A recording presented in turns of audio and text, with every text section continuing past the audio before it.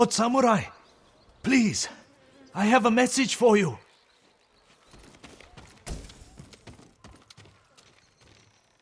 What's wrong?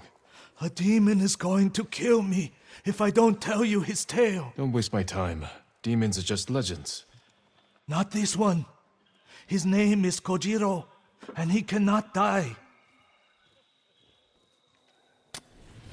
Long years ago, Kojiro was a straw hat ronin. So fearsome, deadly, and bloodthirsty, his own brothers turned against him. From dawn until dusk, dozens of straw hats fought Kojiro. He slew them all. Those who escaped that day disowned Kojiro from the Straw Hat ranks, but never crossed him again.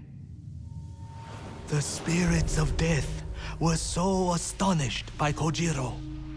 They blessed his armor to grant him a tireless sword arm.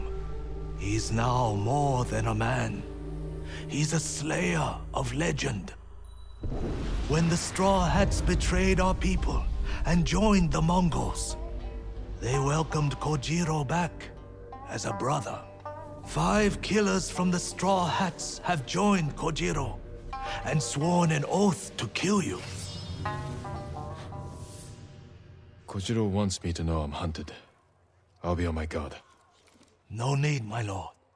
Kojiro will grant you the honor of a duel. But you must earn that privilege by dueling the five straw hats who joined him.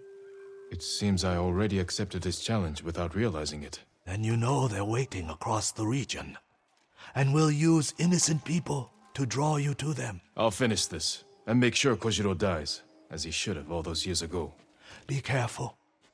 I've never met a man like him before. I'm not even sure he is a man.